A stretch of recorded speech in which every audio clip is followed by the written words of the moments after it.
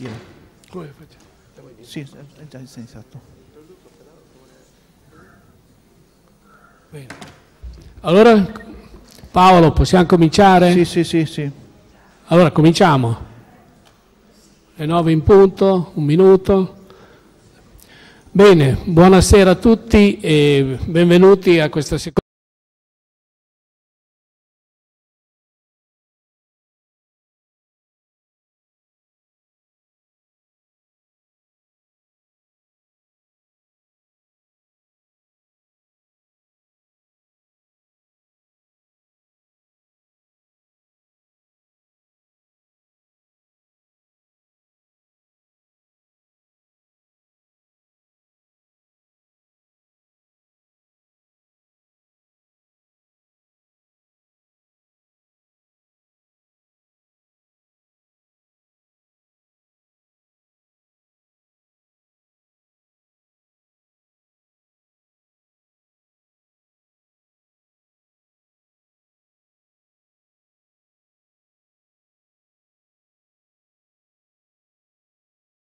Gancio a martedì scorso, eh, uno dei tre punti critici per le democrazie, eh, diceva il professor Magatti, è la chiusura, punto critico. Eh, come Chiesa per le caritas che abbiamo, per i centri di ascolto che abbiamo, per gli oratori e i doposcuola che abbiamo, tutte fonti di integrazione, non ci riconosciamo in questa chiusura data dalla, dalle crisi, dalle, dalla crisi delle democrazie. Però sempre abbiamo bisogno di recuperare delle ragioni di apertura e di accoglienza, sempre abbiamo bisogno di ragioni. Ecco, chiediamo proprio al, agli autorevoli eh, persone, personalità che stasera intervengono queste ragioni e, e come una direttiva di marcia e per questo li ringraziamo, anche se in, questo, in questa forma online che è sempre un rischio però, rispetto alla presenza, però eh, ringraziamo della loro partecipazione.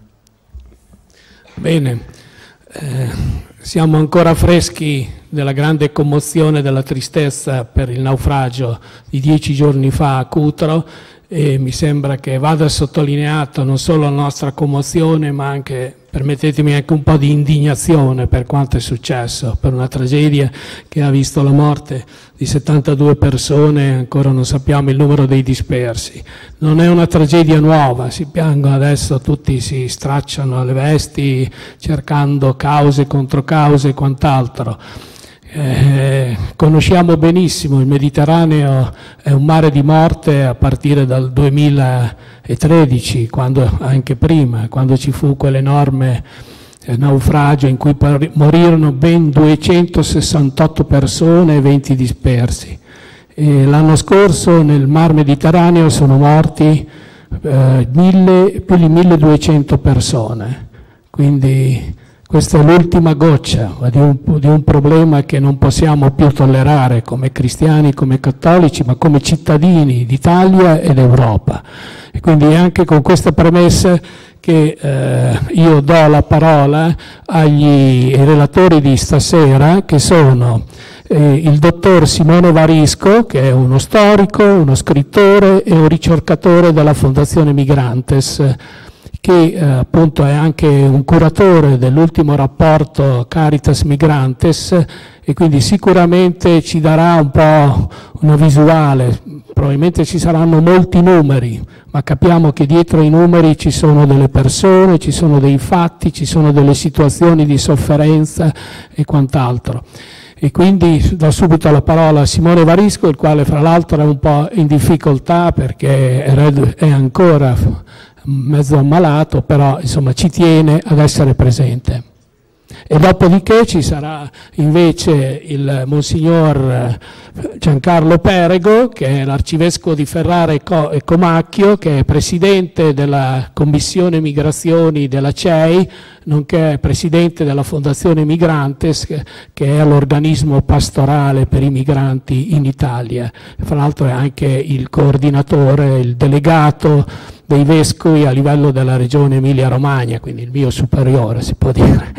Bene, a te la parola Simone. Grazie Walter, mi sentite? Mi sentite? Sì, perfetto. Spero che vediate anche le immagini, la voce, come giustamente ricordavi, non è delle migliori ancora, ma speriamo che, che sono migliori nei prossimi giorni. Grazie intanto per, per l'invito, sicuramente, e un saluto a tutti lì in sala. Questa sera nel mio intervento molto rapido vorrei soffermarmi soprattutto sul contesto italiano della, dell'immigrazione. Eh, costruire il futuro con i migranti, appunto, è il tema del, dell'ultimo rapporto immigrazione di Caritas Italiana e Fondazione Migrantes, che va a riprendere quello che è il tema del messaggio eh, del Papa dell'ultima giornata mondiale del migrante e del rifugiato. Abbiamo messo, come potete vedere, eh, la parte rifugiati, quindi abbiamo preso soltanto costruire il futuro con i migranti, non per una forma ovviamente di esclusione, di limitazione, ma per la volontà di sottolineare una narrazione diversa, una narrazione nuova che possa soffermarsi in maniera specifica su una parte della mobilità che coinvolge l'Italia, che è poi quella per la verità maggioritaria, anche a livello quantitativo, oltre che storico, e che non è appunto quella dei, dei rifugiati, dei richiedenti asilo, dei cosiddetti profughi, eccetera, ma che è quella delle persone migranti, quelli che qualche volta vengono indicate come migranti economici, pur essendo appunto ampiamente la maggioranza in Italia, come poi vedremo, rischiano di essere doppiamente invisibili rispetto anche alla narrazione che viene abitualmente presentata della, della mobilità, che ovviamente è una narrazione che non risponde completamente a quella che è la realtà eh, dei flussi migratori, della composizione dei flussi migratori, ma che soprattutto risente qualche eh, misura anche in maniera comprensibile e umana e questo forte impatto emotivo ed umano, tragedie appunto gravissime come quella eh, del naufragio in Calabria negli anni scorsi, ma ce ne sono tantissime altre purtroppo nella storia d'Italia, non solo nel Mediterraneo e nella storia dell'Europa in generale, ecco, hanno purtroppo tra le tante vittime anche una narrazione completa della migrazione, perché si tende ovviamente, ripeto, in maniera del tutto comprensibile, a concentrarsi su, quelli, su quegli aspetti, ma appunto condannando molto, molto, in molti casi all'invisibilità poi altro tipo di migrazione che caratterizza, che caratterizza l'Italia.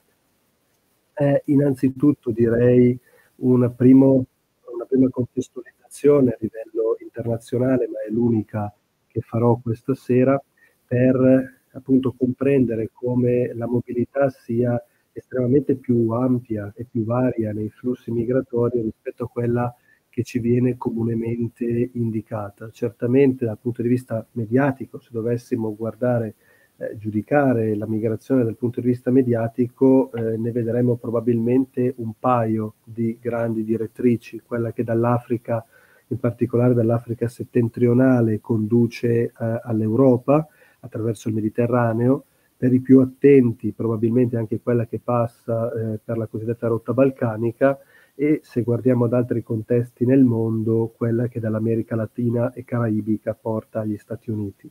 In realtà vedete che, eh, e quindi, come dire, riproponendo spesso quella narrazione del sud del mondo che si sposta verso il nord del mondo, che è una tipica terminologia, se vogliamo, ancora degli anni 70-80 in realtà, eh, come vedete, è molto più ampia, eh, la trama è molto più fitta, la mobilità si interseca in maniera eh, globale, davvero in maniera molto più stretta. E scopriamo, per esempio, che tra i più grandi, anzi il più grande corridoio migratorio al mondo è quello interno all'Europa, cioè che vede migranti spostarsi, è la colonna che vedete sulla sinistra, eh, migranti spostarsi da uno Stato europeo, non necessariamente dell'Unione Europea, ma da uno Stato europeo verso un altro Stato europeo, per esempio dall'Italia verso l'Inghilterra, il Regno Unito, per esempio dall'Ucraina in fuga dalla guerra verso la Polonia, per esempio dalla Moldova verso l'Italia o dalla Spagna verso la Germania. Eh, è il grande, il grande eh, flusso migratorio a livello internazionale. Oltre il 70% di quelli che vivono da immigrati, cioè da cittadini stranieri in un paese europeo, sono originari di un altro paese europeo. E questo appunto è importante ricordarlo perché già questo identifica e, e va a caratterizzare la, con maggiore puntualità e realismo quella che è la migrazione che tocca in gran parte l'Europa e che tocca anche in gran parte l'Italia, che la vede protagonista sia in uscita come paese di emigrazione, sia in entrata come paese di destinazione. E veniamo proprio al contesto italiano in maniera eh, più eh, specifica. Qui eh, vi do in realtà mh, do qualche numero questa sera, ma non tantissimi. Mi piacerebbe soprattutto soffermarmi eh, sulle chiavi di lettura di questi, di questi numeri, però eh, qualche cifra è necessaria per poter partire da una base oggettiva di riflessione. Sono quasi 5 milioni e 200 mila in base a quelle che erano le stime Istat all'uscita del rapporto, ci sono eh, nuovi dati che sono andati consolidandosi progressivamente ultimi, nelle ultime settimane e eh, si parla oggi di circa 5 milioni e 30 mila cittadini stranieri regolarmente residenti in Italia. Eh, comunque sia, siamo intorno all'8,8, 8,6 della popolazione totale, ai quali vanno aggiunti circa mezzo milione di presenze cosiddette irregolari.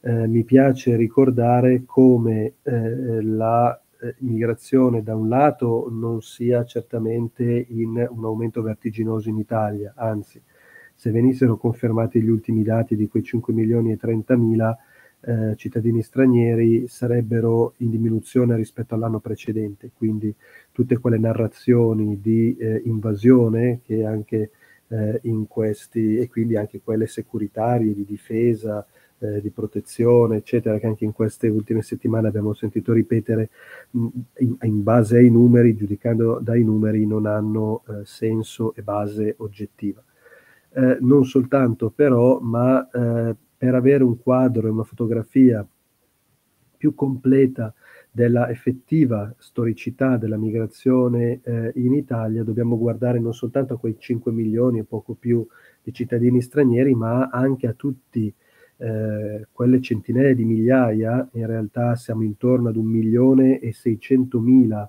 negli ultimi dieci anni, persone che eh, hanno acquisito la cittadinanza italiana e che la maggioranza di esse continua a vivere in Italia.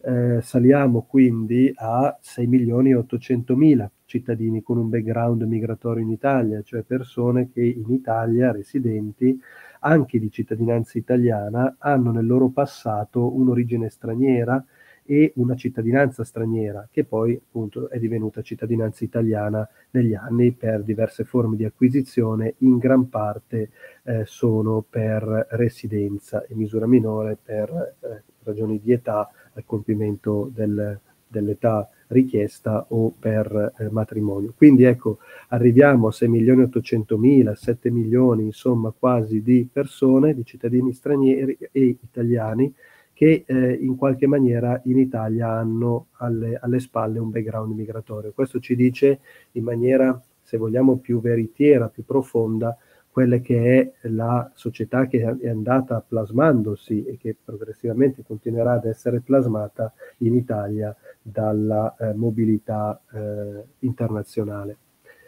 E le comunità le vedete indicate lì sulla destra, eh, sono comunità storiche ormai di presenza a livello nazionale, certamente la comunità romena con quasi il 21% del totale dei cittadini stranieri, sono molti anche quelli che nel frattempo, negli anni, proprio per questa storicità, hanno acquisito cittadinanza italiana, e poi a scendere la Romania, l'Albania, la, il Marocco, la Cina e l'Ucraina mi piace eh, sottolineare come eh, nella, in Italia la presenza eh, si calcoli in oltre 190 nazionalità differenti che chiaramente eh, si diversificano fra loro moltissimo dai eh, pochissimi magari personale di consolati e ambasciate ai invece eh, centinaia, migliaia come nel caso delle, della comunità romena ma appunto le prime cinque eh, comunità, lo vedete lì, raccolgono quasi la metà dei cittadini stranieri presenti in, eh, in Italia. Se eh, scendiamo quindi dalla, ehm, dire, dalla, dall'attenzione macro alla macro area globale, quindi abbiamo visto le grandi trame a livello globale, poi scendiamo a livello nazionale con quei numeri di poco più di 5 milioni, scendiamo ancora di più a livello locale, regionale e provinciale, vedete appunto come le cifre sono eh, anche in questo caso eh, diverse e orientate sempre più ad un calo. Sono eh, 500, poco meno di 550.000 i cittadini stranieri residenti in Emilia-Romagna e rispetto all'anno precedente 2021 vedete eh, meno 2,2% è comunque una percentuale, un'incidenza, cioè la percentuale di cittadini stranieri rispetto alla popolazione totale, è comunque eh, piuttosto elevata, superiore alla media nazionale, vi ricordo era meno del 10%, in Emilia-Romagna abbiamo il 12,4%. Così come a livello nazionale, anche in Emilia-Romagna, la percentuale è pressoché eh, equamente distribuita fra maschi e femmine, con una lieve presenza, una lieve maggioranza eh, di femmine, questo perché eh, ci sono una serie di eh, lavori che vengono a richiedere soprattutto eh, manodopera eh, di sesso femminile, pensiamo per esempio alla collaborazione domestica, alla collaborazione familiare, che sono molto tipiche di un paese che va eh, rapidamente invecchiando come l'Italia, e dall'altro lato perché è una migrazione, quella in Italia storica, eh, strutturale, ormai fortemente storicizzata e quindi eh, caratterizzata in maniera piuttosto forte dalla presenza di famiglie e dalla presenza di motivazioni, come poi vedremo anche nei permessi di soggiorno, ragioni familiari di ricongiungimento eh, familiare. Quindi non è per esempio la migrazione eh, nuova, recente, tipica ad esempio dei paesi del Golfo, eh, che è caratterizzata soprattutto da eh, giovani maschi soli che si spostano per lavorare nell'industria pesante di quei paesi, ma è soprattutto appunto caratterizzata da ricongiungimenti familiari, donne che vengono richieste per certo tipo di mansioni, eccetera. Eh, I paesi di origine ricalcano con qualche inversione di posizione, sostanzialmente come vedete le posizioni e, e i, i, primi cinque insomma del, a livello nazionale, Romania, Marocco, Albania, Ucraina e Cina e anche le province, vedete che a livello provinciale Forlì Cesena si colloca circa metà eh, della, della, classifica eh, con 45.000 cittadini stranieri residenti. Vediamo se riesco ad andare avanti. Sì. Se torniamo al contesto italiano, eh, questa è un po' un'immagine che eh, vi rappresenta graficamente quello che già accennavo prima, e cioè siamo in una situazione di progressivo eh, rallentamento dell'aumento, per non dire in realtà una stagnazione se non un calo, della immigrazione eh, in Italia. Lo vedete lì dal punto di vista storico, questo fotografa gli ultimi eh, 21 anni sostanzialmente della, eh, dell'immigrazione in Italia, le barre dell'istogramma mostrano la, le cifre totali, diciamo il numero effettivo degli, dei cittadini stranieri in Italia, quindi quei 5 milioni eh, e poco più cui facevo riferimento prima, la linea rossa invece mostra le variazioni percentuali anno per anno. Vedete che nei primi anni 2000, grosso modo fino agli anni 10, 2012-2014, abbiamo una crescita significativa anno per anno, sebbene mai su cifre da invasione, ma una crescita significativa dell'emigrazione in Italia. Basti pensare che nel 2002, lo vedete, era, non si raggiungeva il milione e mezzo di cittadini stranieri in Italia, nel 2014 siamo già quasi a 5 milioni. E poi un rallentamento progressivo, certo aumenta anno per anno, ma con ritmi decisamente eh, più lenti. infatti vedete che la linea rossa va progressivamente a eh, diminuire e ad appiattirsi. Questo per tutta una serie di ragioni, non ultime anche la sempre minore capacità attrattiva, sempre minore potere attrattivo dell'Italia come meta di eh, immigrazione, eh, sia per la situazione sociale, in alcuni casi negli ultimi anni con la pandemia sociosanitaria, sia per la situazione del mercato del lavoro, la situazione economica e del welfare. Dall'altro lato anche la mancanza di provvedimenti eh, che agevolino per esempio gli ingressi legali, pensiamo al decreto flussi che come dire, è sempre una difficoltà da ottenersi, non agevolano scusate, l'immigrazione.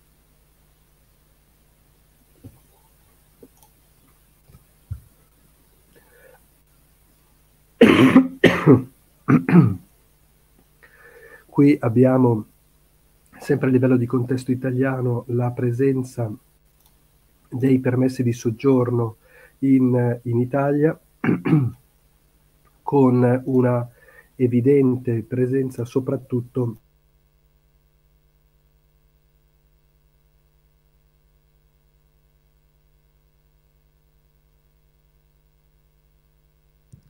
Non sentiamo più. Non sentiamo più. Pronto? Sentite? Ok. Sì, sì, adesso sì. Adesso sì, adesso sì. Sì, sì. Allora torno, ripeto allora l'ultima parte, con una presenza eh, evidente e netta eh, di motivazioni che sono legate appunto ad un'immigrazione strutturale, per esempio quelle legate ai permessi di soggiorno per la famiglia, con anche i ricongiungimenti familiari, o quelli legati al lavoro. E qui torniamo un po' a quello che era il discorso che facevo all'inizio, e cioè appunto che pur ovviamente nella straordinaria importanza e impatto emotivo della migrazione, eh, legata alla fuga dalla guerra e a contesti di difficoltà, ci sono moltissime persone che giungono in Italia anche attraverso il Mediterraneo, non soltanto scappando dalla guerra, ma per cercare motivazioni diverse rispetto a, a una situazione diversa dal punto di vista economico per esprimersi al meglio. E appunto le ragioni della famiglia, ricongiungimenti familiari, quelle lavorative, economiche, appunto sono tipiche della immigrazione eh, in Italia. E eh, vado a toccare, prima di concludere, tre temi molto rapidamente che sono tratti dal, dal rapporto immigrazione, che ovviamente è una, pensato come uno strumento di lavoro, pensato soprattutto, eh, speriamo, soprattutto per gli operatori, ma anche per l'uso che eh, appunto se ne può fare a livello, a livello scolastico, a livello universitario, a livello di formazione, di aggiornamento, ma soprattutto per gli operatori sociali e pastorali, quindi anche per le reti Caritas e eh, Migrantes. Tocca vari temi, dalla scuola al lavoro alla comunicazione, sono i tre temi che affronterò questa sera rapidamente, ma ovviamente c'è anche la giustizia, la salute eh, e appunto molti altri molte altre tematiche. Eh, la scuola, perché ho scelto la scuola? Perché costruire il futuro con i migranti eh, rimanda quasi naturalmente alla necessità di fare i conti con i giovani. Eh, e eh, perché appunto si, si, ricorda spesso come siano le generazioni future a dover costruire, se glielo consentiamo, il futuro. E in queste generazioni future in Italia non saranno, sono già presenti anche centinaia di migliaia, più di un milione in realtà, di cosiddette seconde generazioni, di giovani, sono oltre un milione giovani in Italia di origine straniera che ancora non hanno acquisito la cittadinanza italiana. Ma come eh, va nelle scuole? Qual è la situazione nelle scuole? Beh, la presenza di alunni con cittadinanza non italiana è ancora piuttosto significativa, supera il 10% degli alunni totali, cioè sostanzialmente un alunno su 10 nelle scuole italiane eh, è um, di cittadinanza straniera, ma eh, questa cifra sta progressivamente calando anno per anno e lo vedete lì, 865.000 erano gli alunni con cittadinanza non italiana nell'ultimo anno scolastico, in calo di 11.000 unità, meno 1,3% rispetto all'anno precedente.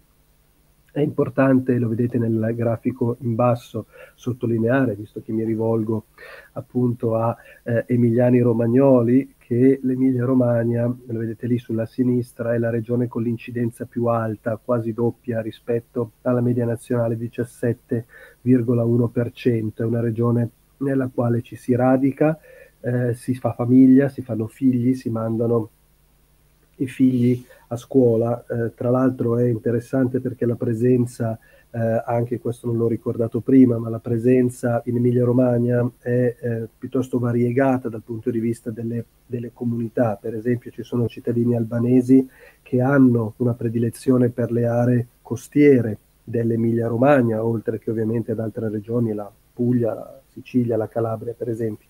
La presenza della comunità marocchina, che è piuttosto diffusa in tutto il territorio nazionale, tende però ad avere una concentrazione soprattutto nell'area del nord-est e in particolare proprio in, in Emilia-Romagna.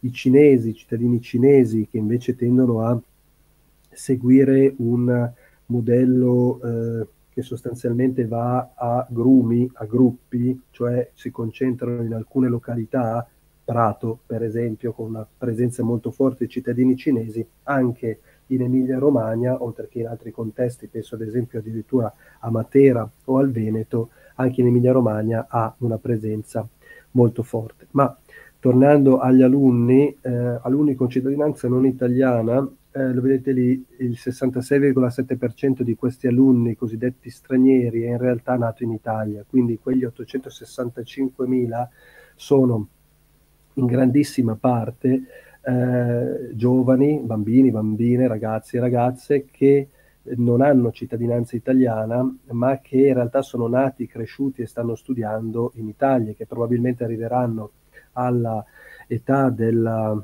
dell'università e si iscriveranno probabilmente ad un'università italiana da cittadini stranieri, andando a eh, così falsare, loro malgrado evidentemente, quelle che sono le statistiche della presenza degli eh, studenti universitari internazionali che in Italia risultano eh, piuttosto presenti, ma che in realtà sono in gran parte eh, giovani che appunto si iscrivono da straniere alle università italiane, ma che in realtà sono nati in Italia, ma ancora non hanno acquisito la cittadinanza italiana, con tutta una serie di problematiche evidentemente collegate anche alla mancanza della cittadinanza italiana e alla mancanza di un'adeguata politica di inclusione anche all'interno del sistema, oltre che sociale scolastico italiano, e due su tutti, il ritardo scolastico, lo vedete lì eh, a destra, a 10 anni già il 15% dei maschi e l'11% delle femmine, e a 18 più del 60% dei maschi, del 54%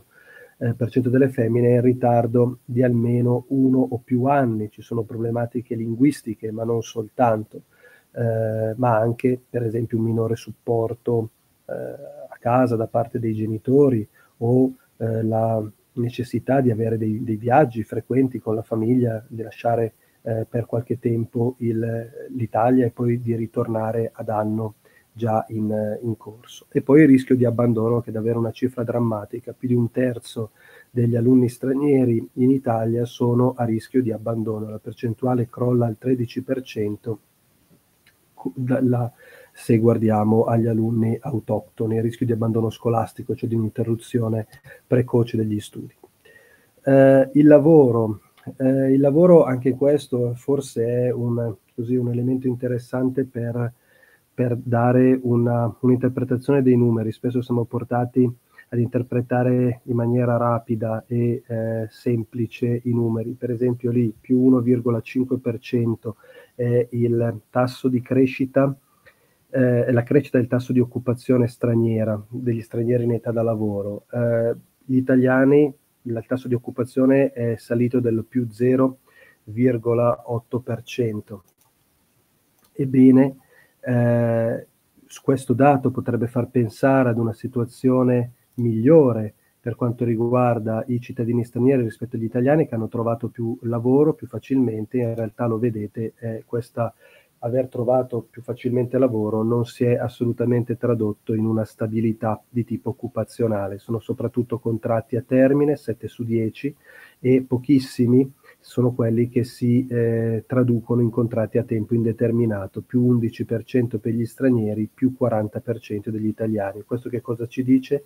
Ci dice che i lavoratori stranieri trovano sì più facilmente lavoro rispetto agli italiani, ma in realtà lo perdono eh, molto più facilmente. Infatti il tasso di occupazione si mantiene più basso, lo avete indicato a destra, e il tasso di disoccupazione degli stranieri si mantiene più elevato rispetto a quello degli italiani. Anche in questo caso c'è una grande criticità tra le varie, oltre all'eccesso di, di eh, formazione, la, l'over education eh, e le problematiche legate alla sicurezza sul lavoro, eccetera. Ce n'è una che è molto spesso sottovalutata, la etnicizzazione delle relazioni di lavoro, eh, che sostanzialmente si traduce in alcuni casi in una ghettizzazione dei rapporti di lavoro. Alcune comunità sono eh, portate quasi gioco forza a svolgere determinate mansioni. Pensiamo per esempio alla collaborazione domestica con i filippini o alla collaborazione familiare per le donne dell'est Europa o ancora per molti giovani nordafricani l'area del turismo o della ristorazione. Ebbene, il rischio, oltre che alla ghettizzazione, che non rende libera la scelta occupazionale, è anche che laddove si verifichi una crisi eh, specifica di alcuni settori, cosa che si è verificata con la pandemia, che ha colpito per esempio soprattutto la parte turistica, alberghiera della ristorazione, c'è un crollo dell'occupazione che va a colpire in maniera eh, così settoriale soprattutto eh, le comunità straniere, cosa che appunto è accaduta. E eh, chiudo, chiudo sulla comunicazione, questi sono dati che sono più aggiornati rispetto a quelli eh, presentati nel rapporto immigrazione, ho aggiunto i dati del 2022, semplicemente per fare una, una riflessione. Eh, si è tornati negli ultimi anni, sono dati che ci vengono dall'Osservatorio di Pavia, dalla Carta di Roma, eh, che è l'organismo appunto che è legato alla deontologia del, del lavoro giornalistico, eh, sono dati che fotografano il ritorno della, dell'accoglienza come termine, si è tornati a parlare di accoglienza. Eh, dopo anni, lo vedete lì, 2019, 2018, 2017, eh, dove di accoglienza si parlava pochissimo. Si parlava molto di immigrazione, ma non se ne parlava mai o quasi mai in termini di accoglienza. Dopo anni, lo vedete 2015-16, dove invece si parlava anche di accoglienza.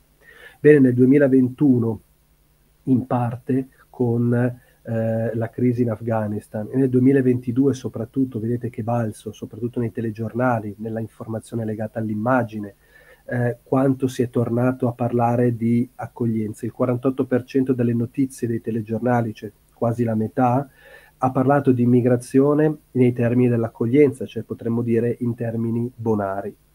Eh, questo però perché potrebbe farci, come dire, eh, sperare in maniera ottimistica eh, rispetto al futuro. Beh, siamo tornati di nuovo disponibili, non è così facile, purtroppo non è così scontato, perché è molto legato a quello che è un impatto me- eh, mediatico, emotivo eh, di Afghanistan. Si è molto parlato nei termini dell'accoglienza, poi non si è più parlato di Afghanistan e oggi l'accoglienza nei confronti degli afghani lo vediamo anche in molte tragedie, molti dei morti nel Mediterraneo sono afghani e c'è una forte indifferenza rispetto alla sorte di chi fino a un paio di anni fa invece era eh, come dire, al centro della narrazione mediatica, viene da chiedersi che cosa accadrà fra un anno, due anni, tre anni con l'Ucraina. È già accaduto in realtà con la prima guerra in Ucraina nel 2014 e poi appunto non se n'è più parlato. Le cose vanno invece diversamente sui territori, questo è importante sottolinearlo,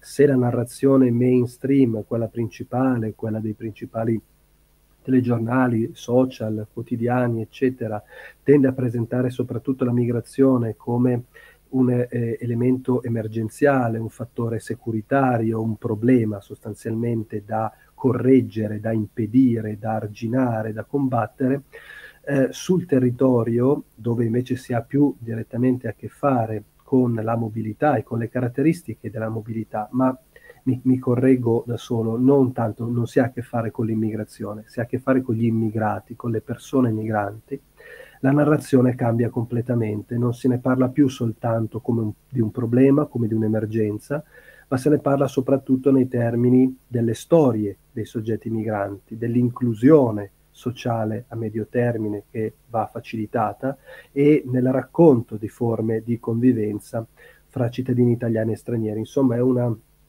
una narrazione che pur senza tacere quelle che sono le criticità, le problematicità e le storture certamente della, dell'immigrazione, ma come dire, dà un quadro certamente più completo e più eh, oggettivo e più umano rispetto appunto alla, all'immigrazione che coinvolge l'Italia. Io eh, vi ringrazio.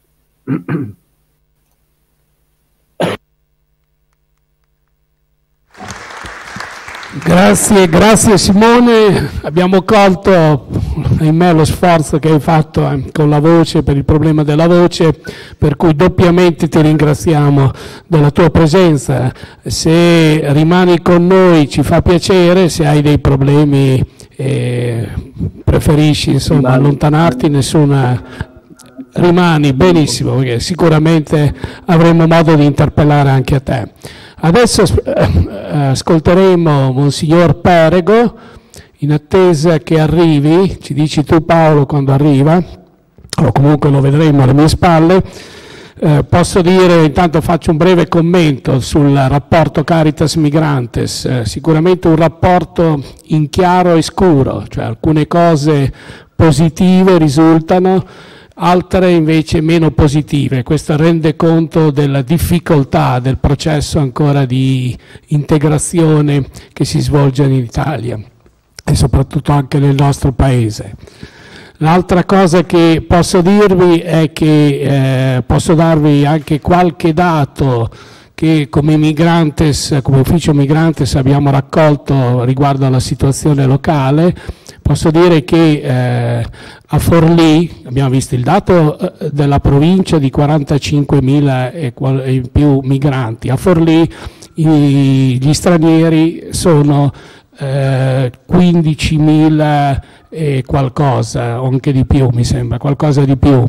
E all'interno di questi 15.000 stranieri abbiamo un terzo, circa un 30% che eh, sono presenti nel centro storico. Quindi quando ci chiediamo chi sono questi stranieri, eh, sono persone che abitano prevalentemente nel centro storico e più, in maniera molto più distribuita nei quartieri attorno al centro storico e che appartengono a ben 90 nazionalità diverse. Quindi eh, non abbiamo solo un tipo di stranieri, ma abbiamo tanti stranieri. Questo bisogna che ce ne rendiamo conto.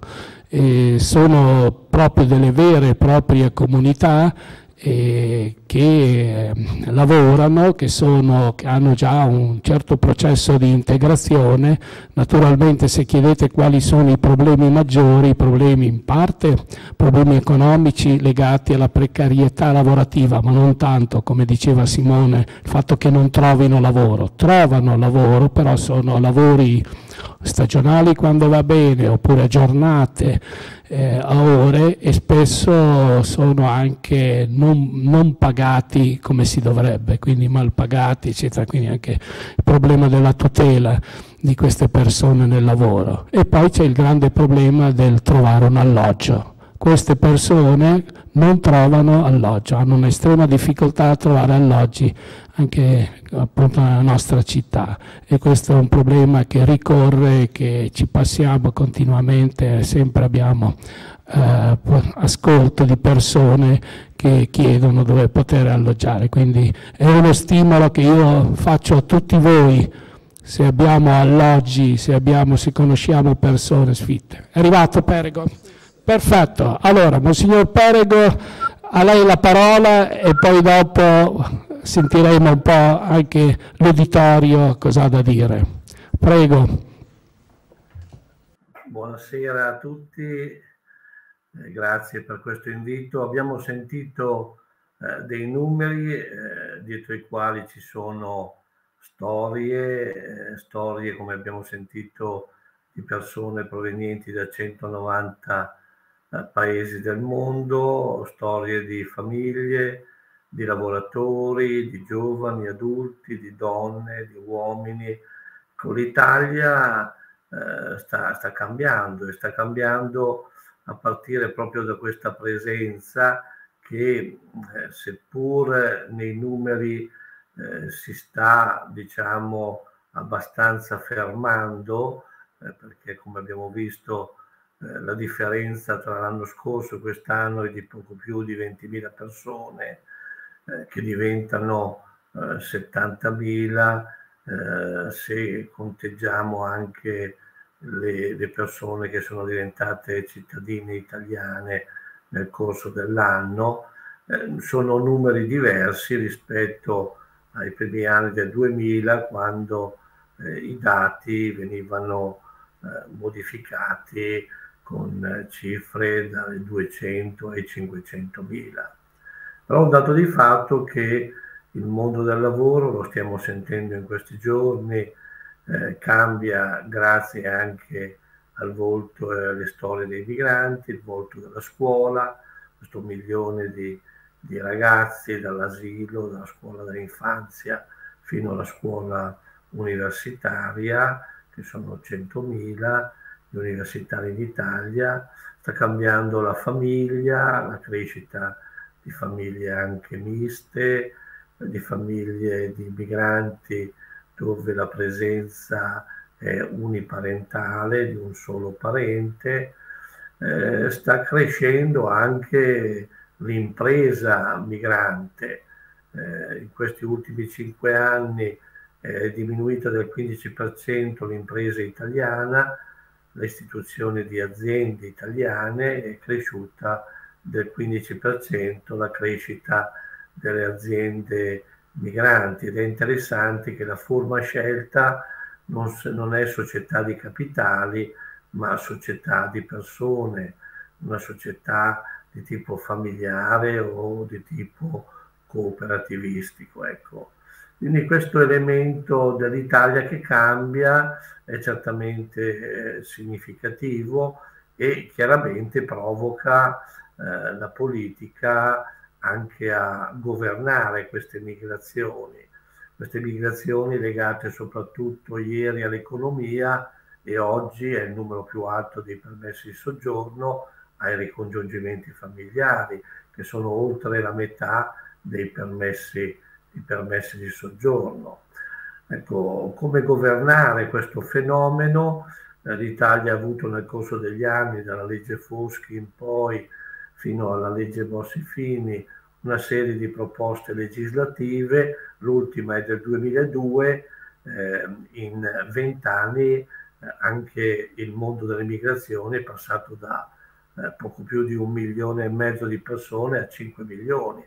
Eh, forse ci sarebbe bisogno di una revisione di questa legge che era completamente incentrata sulla sicurezza e aveva al centro soprattutto le questure, cosa che è ancora l'elemento centrale nel governo delle migrazioni del nostro paese.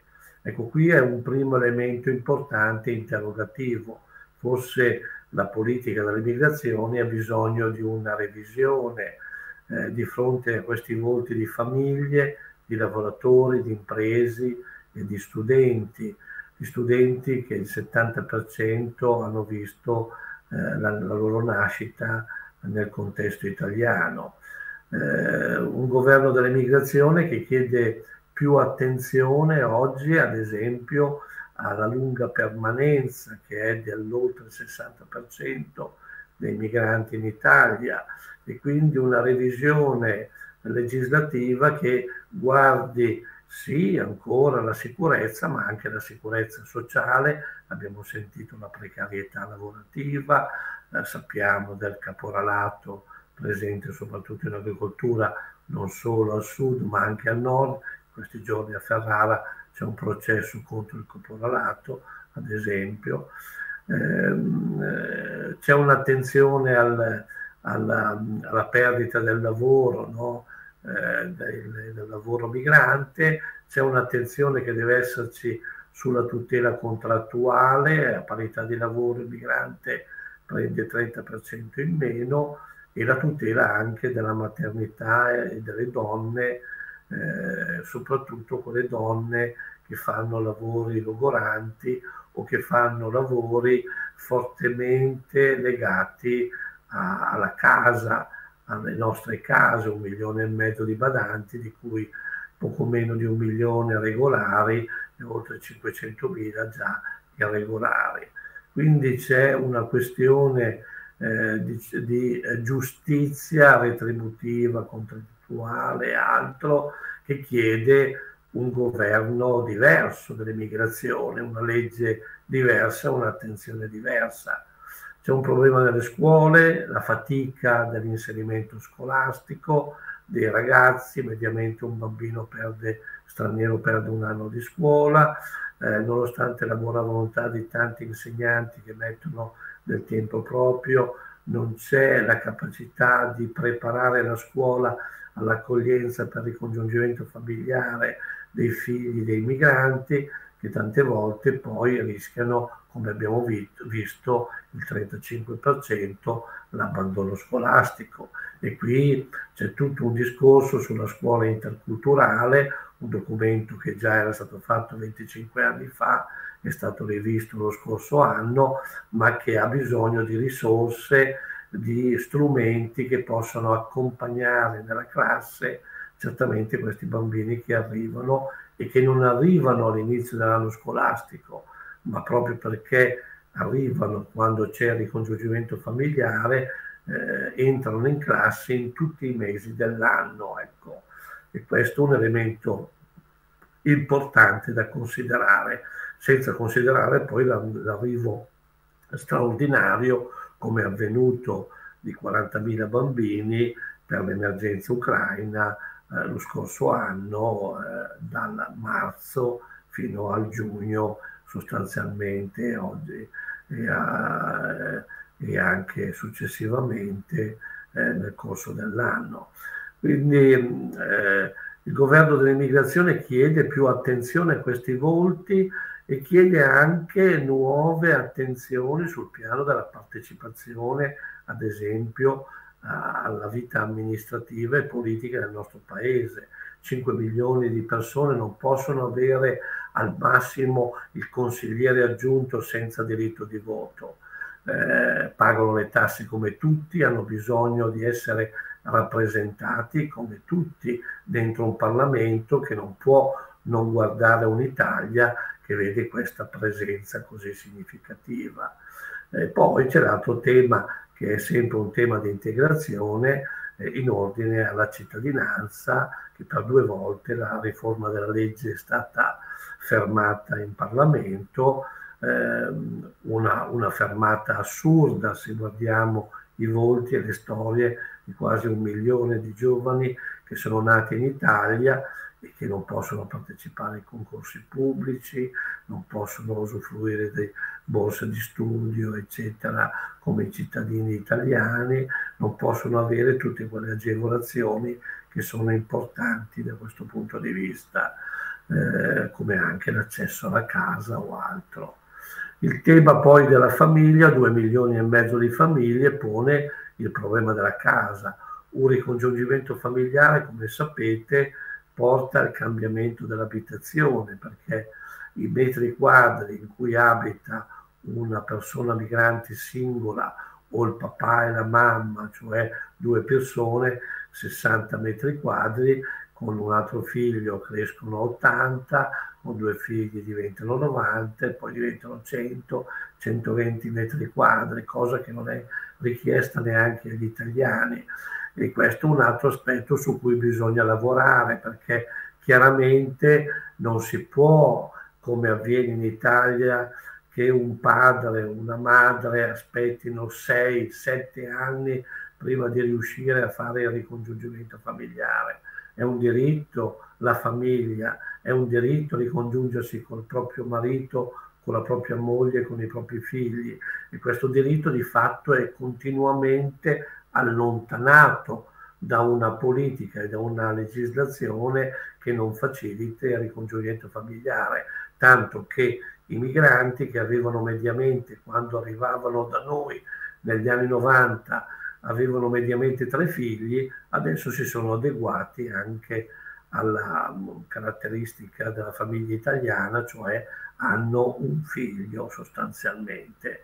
E questo è un altro elemento che chiaramente pesa anche sulla natalità nel contesto italiano, che come sapete è il paese più vecchio uh, al mondo e perderemo eh, nei prossimi anni altri 90 bambini, 90.000 bambini. Ecco abbiamo raggiunto quest'anno la media delle nascite che era avvenuta durante la prima guerra mondiale.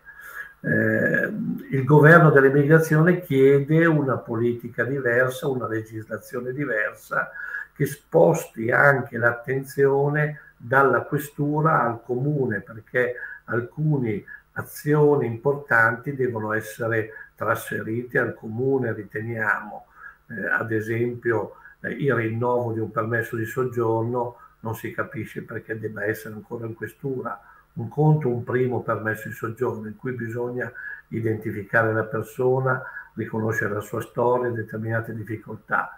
Ma quando una persona vive in una comunità, in un comune, da due anni, da tre anni, da cinque anni, da dieci anni, è assurdo che non sia il comune stesso che conosce il soggetto, conosce la rete di relazioni, eccetera, eh, che non sia il comune stesso dover rinnovare il permesso di soggiorno come avviene del resto in tanti altri paesi, paesi europei. Ecco.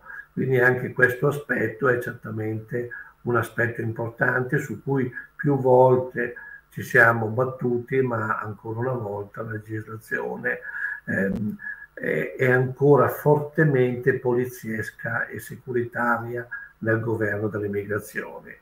In altre parole si tratta di coniugare quei quattro verbi che già da alcuni anni Papa Francesco ci ripete, cioè accogliere, tutelare, eh, promuovere e integrare. Questi quattro verbi sono il percorso di cittadinanza sostanzialmente dentro la quale anche la, la legislazione dovrebbe costruire le proprie, le proprie azioni.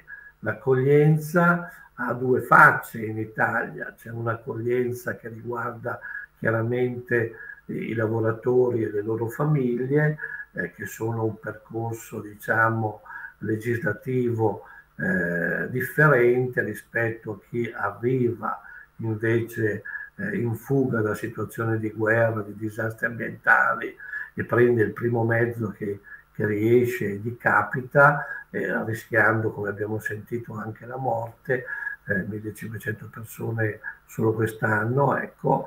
Eh, il primo percorso del, dei lavoratori delle famiglie chiede l'incontro fra domanda e offerta di lavoro, perché l'incontro tra domande e offerte di lavoro non la si può fissare soltanto a novembre con delle quote, va gestito nel corso di tutto l'anno a seconda della produzione per quanto riguarda ad esempio l'agricoltura piuttosto che l'industria o l'artigianato, a seconda del bisogno dei servizi alla persona, penso a tutto il mondo eh, delle cosiddette badanti, cioè di coloro a cui affidiamo le persone più care della nostra vita, perché se non c'è l'incontro fra domanda e offerta di lavoro, eh, è chiaro che le persone arrivano con un permesso turistico, si fermano tre mesi, entrano in famiglia, in fabbrica e c'è sfruttamento, come stiamo vedendo da diversi punti di vista, con contrapposizioni contrattuali e conflittualità fra lavoratori italiani e lavoratori stranieri. Questo tema dell'incontro fra domanda e offerta di lavoro è fondamentale perché diversamente succede, succederà ancora anche nei prossimi anni quello che è successo negli anni precedenti, cioè che oltre il 60% dei lavoratori sono stati regolarizzati attraverso le famose sanatorie che hanno portato alla perdita di milioni e milioni di euro alle nostre casse per eh, gli impegni sociali, per le tutele eh, sul lavoro e per le tutele pensionistiche. Eh, questo è una cosa veramente poco intelligente. Ecco.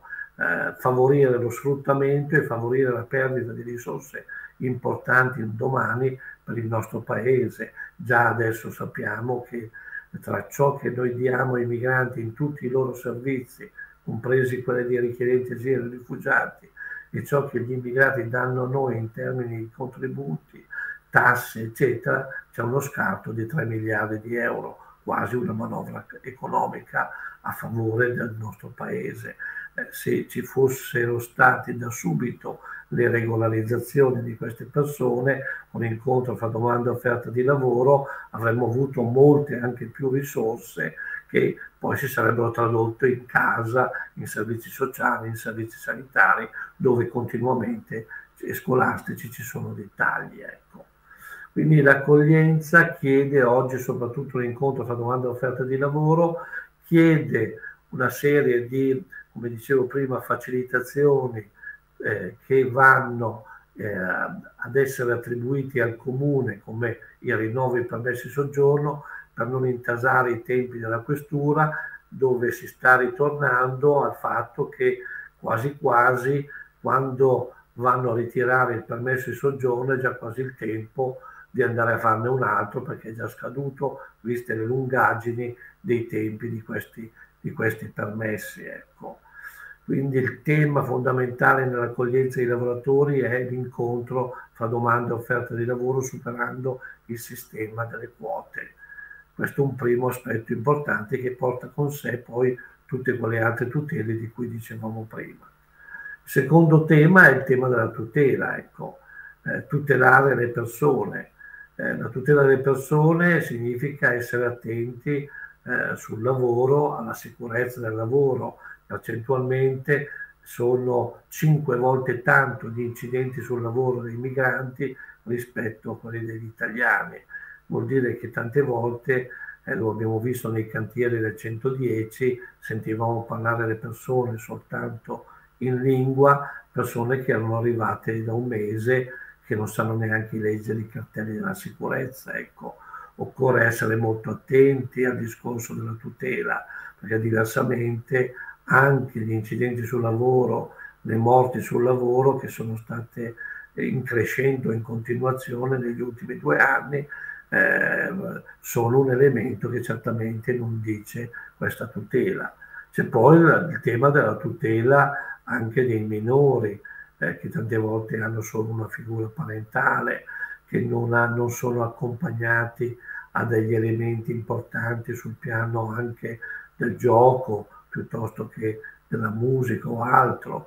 Eh, come sappiamo eh, più di 1.600.000 ragazzi in Italia non ha accesso al mondo sportivo e al mondo diciamo del tempo libero eh, e tra questi molti sono anche bambini migranti. Il tema della tutela è certamente importante, come anche la tutela del minore che arriva in Italia non accompagnato.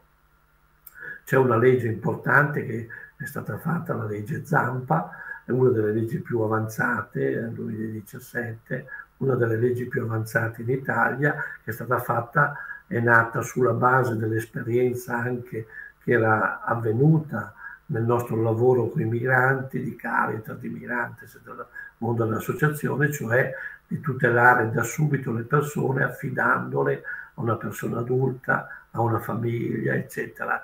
E questa legge ha regolamentato un po' tutto questo, portando anche l'accoglienza dei minori non accompagnati che arrivano in Italia, che mediamente eh, la maggior parte hanno dai 15 ai 17 anni, portando la tutela fino a 21 anni, in modo tale che ci sia un percorso di accompagnamento anche un pochettino più lungo all'autonomia.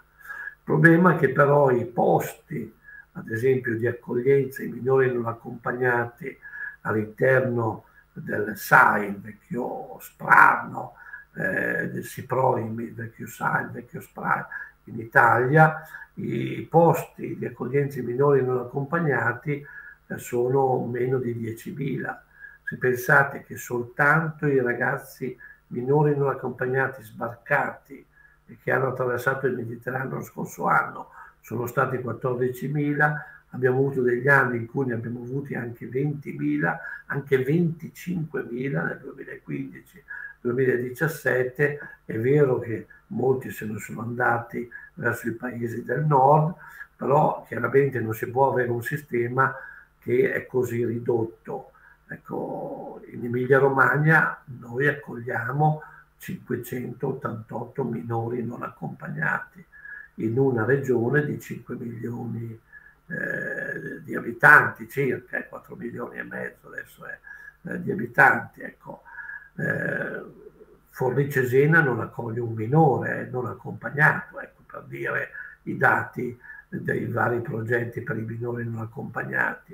E per quanto riguarda eh, i disabili, dal punto di vista menta- mentale o fisico, eh, ne, abbiamo accolti in Italia nei progetti eh, circa 750, di cui 123 in Emilia Romagna. E anche qui la provincia di Forlì Cesena non ne ha accolto uno, ecco per dire. Eh, questo significa che è molto importante forse che ci sia un'attenzione anche nelle nostre comunità a un'accoglienza di tipo familiare come avviene proprio per quanto riguarda i minori non accompagnati. Ecco, Forlì Cesena ha due progetti, uno di 38 in città per rifugiati richiedenti asilo e uno di 60 persone nell'Unione dei Comuni. Ecco, eh, accogliete 100 tra richiedenti asilo e rifugiati. Ecco non mi pare che sia un carico così pesante, come del resto in Italia eh, aver accolto nei progetti del SIPROIMI 45.000 persone, cui si aggiungono 80.000 persone nei CAS, cioè nei grandi centri, eh, siamo tra i paesi sostanzialmente che ne hanno accolto di meno nel contesto europeo. Percentualmente gli abitanti siamo al dodicesimo posto, ecco, a fronte di un milione di accoglienze di rifugiati richiedenti asilo in Germania, un milione e due, ai 650.000 della Francia, ai 300.000 della, della Spagna, senza contare poi i 500.000 della, dell'Inghilterra che non è più nella comunità europea, per dire che non è che siamo proprio così invasi anche da richiedenti asilo e rifugiati perché la maggior parte delle persone che a volte sbarcano poi prendono il percorso. Pensate che eh, dal 2015 ad oggi sono sbarcati in Italia quasi eh, un milione di siriani, ne sono rimasti nove in Italia. Nove. Ecco, 800.000 sono in Germania e sono stati intelligenti ad accoglierle, sono stati una delle operazioni più grosse della Merkel perché erano persone di una grande professionalità, di una grande capacità e intelligenza anche concreta, ingegneri, architetti, insegnanti, medici, eccetera, che hanno eh, diciamo, dato un contributo importante alla crescita e allo sviluppo dello Stato sociale nella stessa Germania.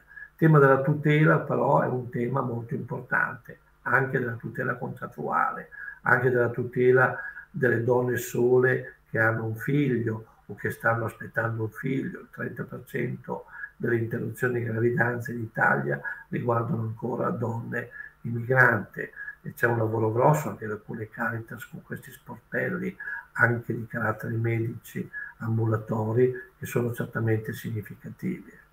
La terza parola importante è la promozione, avere la capacità di far diventare il migrante, lo diciamo sempre anche eh, per quanto riguarda il, i progetti creativi sui poveri, anche per i migranti che non sono per antonomasia poveri, perché hanno delle ricchezze dal punto di vista delle capability, delle, capaci- delle capacità, come direbbe Amartya Sen, eh, occorre fare in modo che vengano sfruttate le capacità. Noi abbiamo medici nel loro paese che arrivano in Italia e fanno la, la badante, perché non c'è il riconoscimento del titolo, non c'è neanche l'accompagnamento a fare in modo che l'integrazione possa portare a questo tipo di, di eh, esercizio di una professione che uno ha già imparato nel suo paese. Ecco. Abbiamo dei siriani qui a Ferrara che stanno, due universitarie siriane eh, che erano già laureate in, eh, in lingua inglese, in, let- in lettere straniere eh, nel loro paese, stanno rifacendo la laurea qui a Ferrara perché non c'è riconoscimento del titolo. Ecco. Quindi tante volte questo tema è un altro tema importante, la promozione delle capacità di un soggetto che ci sta dimostrando anche di essere più capace di fare impresa rispetto ai giovani italiani, come dicevo prima, il 15%. In che modo favorire questo? In che modo favorire anche eh, lo studio universitario? Siamo eh, il paese che accoglie meno universitari percentualmente in tutta Europa. Anche su qui serve chiaramente una serie di azioni in questo campo che possono portare a delle abilitazioni che sono importanti. E poi c'è l'ultimo verbo integrare, eh, che è un percorso biunivoco di accoglienza reciproco dentro il quale c'è in che modo un soggetto che viene da un'altra città, di un altro paese, può diventare un cittadino dentro una comunità e non restare fuori. E c'è quel discorso che dicevamo prima della cittadinanza, della rappresentanza politica, c'è già una rappresentanza significativa sul piano sindacale, quasi un milione dei due milioni e mezzo di lavoratori stranieri sono iscritti al sindacato, c'è quindi un percorso significativo in questo, in questo senso. Ecco. Queste quattro parole sono quattro verbi che sono importanti anche nel leggere diciamo, eh, tutto il tema di questi giorni, cioè degli sbarchi, degli arrivi, cioè l'aspetto dell'accoglienza che significa identificare una persona a terra, a riconoscere da che storia viene, sapere che tipo di protezione internazionale ha diritto, se ha diritto all'asilo, se ha diritto alla protezione sussidiaria, se ha diritto alla protezione speciale, se ha diritto a una protezione temporanea, ecco, questo è un modo di fare accoglienza. Se poi una persona che arriva non ha diritto a nessuno di queste, eh, di queste protezioni, viene rimpatriato e c'è tutto il discorso degli accordi con i paesi di provenienza per il rimpatrio. Tutti i tunisini che sono arrivati in Italia negli sbarchi, il secondo gruppo più numeroso negli ultimi anni, quest'anno il gruppo più numeroso nel 2022 è stato la Nigeria, eh, il secondo il Bangladesh, il terzo il Pakistan, il quarto il Mali, la quinta la Somalia, ma negli anni scorsi la Tunisia era al secondo posto, eh, tranne alcuni minori non accompagnati, tutti gli altri sono stati rimpatriati perché c'è un accordo con la Tunisia da questo punto di vista. Ecco.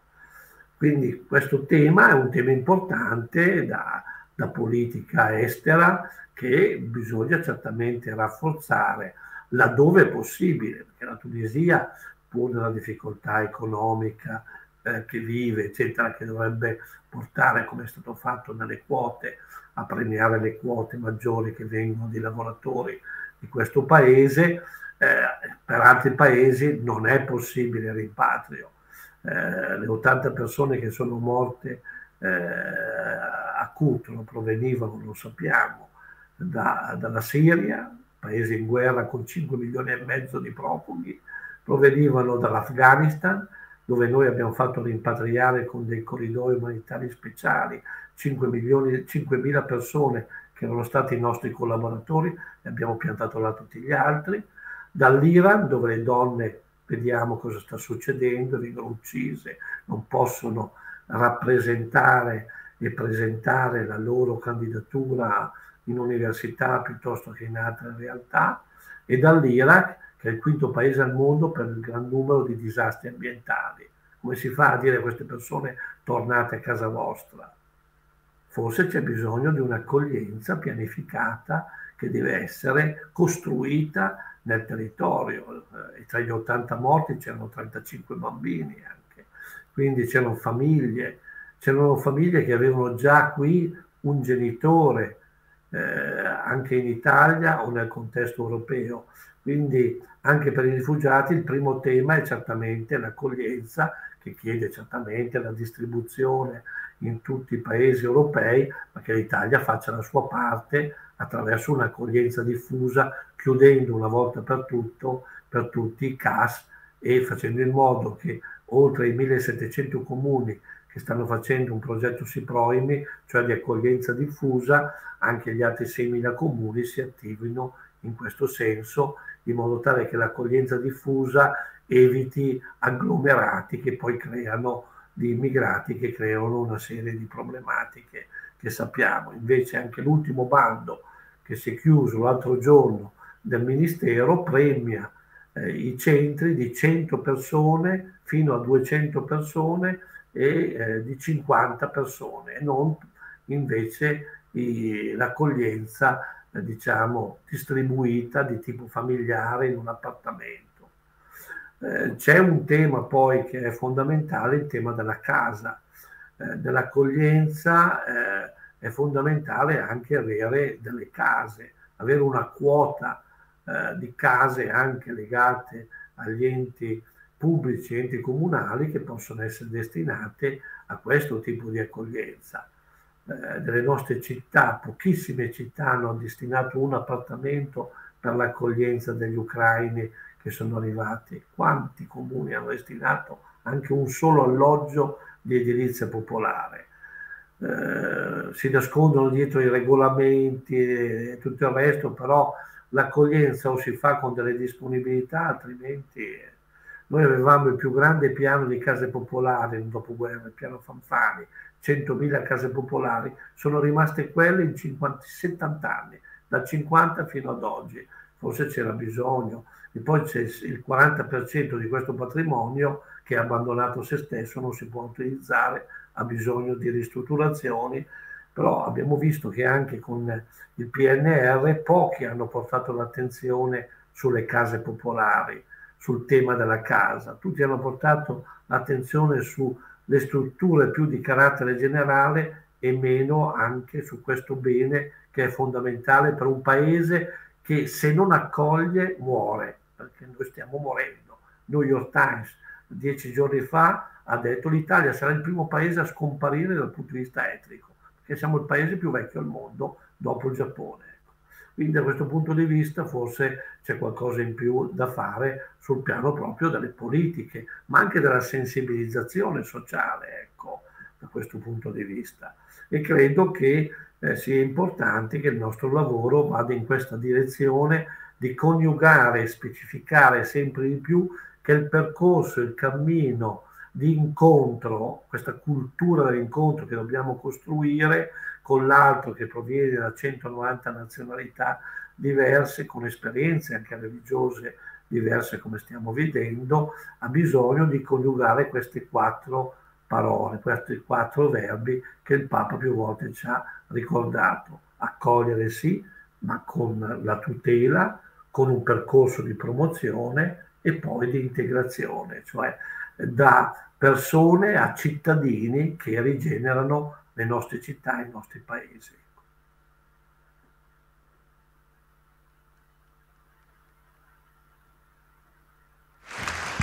Grazie, grazie, grazie Monsignor Perego.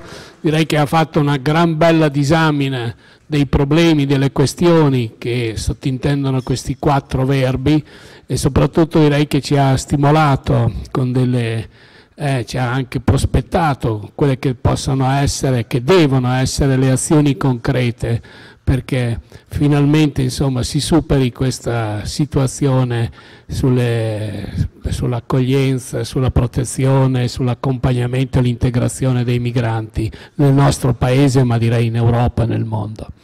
Bene, eh, siamo, abbiamo un po' di tempo anche per fare qualche domanda, sì, siamo partiti con un quarto d'ora di ritardo, probabilmente ci possiamo prendere qualche minuto dopo le 10.30 che di solito consideriamo l'ora di termine. Quindi io invito a fare delle domande, a porre qualche domanda e così possiamo dare un ulteriore momento di replica anche a Simone Marisco e soprattutto a Monsignor Pereco.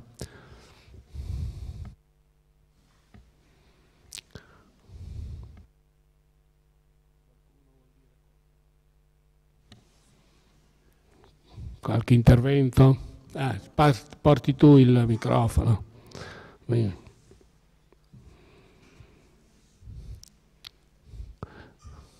Rompiamo il ghiaccio. Te, Rompiamo ah. il ghiaccio un po' sul, su due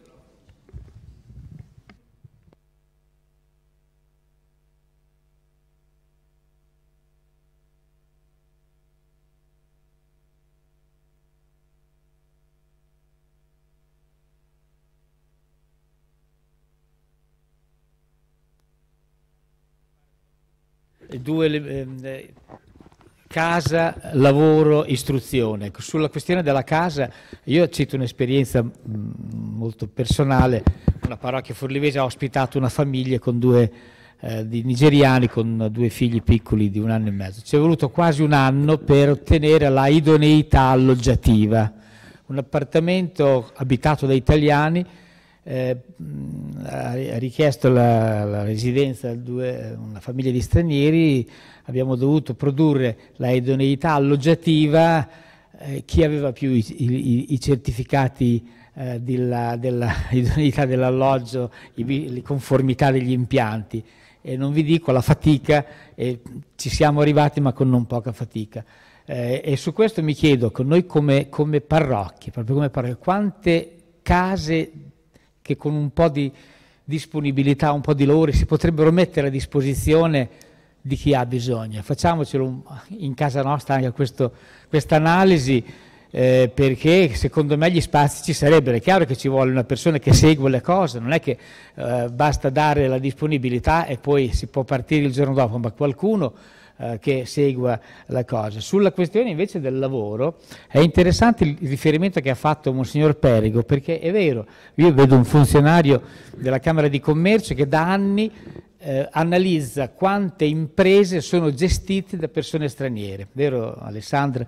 Eh, è vero, non, non, fanno società di capitali, ma fanno società di persone o ditte individuali e non solo nella ristorazione eh, non solo nella ristorazione o nel, nel, commercio, ma anche nella metalmeccanica e in altre imprese. E sono le imprese un po' più solide di quelle italiane, perché mi pare che quelle entrate in crisi sono di più eh, di quelle non, non di, le italiane.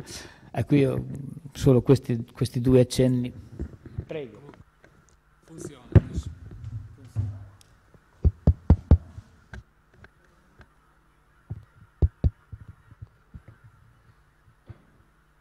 Prego, Davide.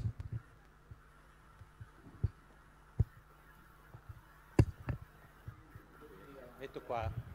Metto qua. E, ehm, intanto un saluto a Monsignor Giancarlo Perego, che io chiamo ancora Don Giancarlo, non so se, se lui ci vede.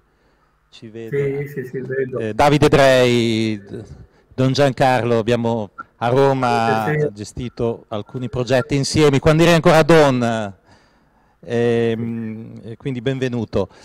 Ma io tanto volevo ricordare una cosa, che secondo me oggi è un anniversario che forse pochi ricordano, ma 32 anni fa, il 7 marzo del 1991, si inaugurava la stagione dei grandi sbarchi in Italia da parte di migranti che venivano da altri paesi. E il 7 marzo del 91 arrivarono 25.000 albanesi il 7, cominciarono il 7 marzo, arrivarono il 7, l'8, 9, due grandi navi, la Tirana e l'Illiria, ed era l'apertura della, de, della, prima grande frontiera, quella dell'Albania, eh, poi ovviamente ci sono stati tanti altri cicli, tanti altri flussi, tanti altri flussi, tanti altri sbarchi nel Mediterraneo e vabbè, poi conosciamo emotivamente quello che è successo in questi giorni.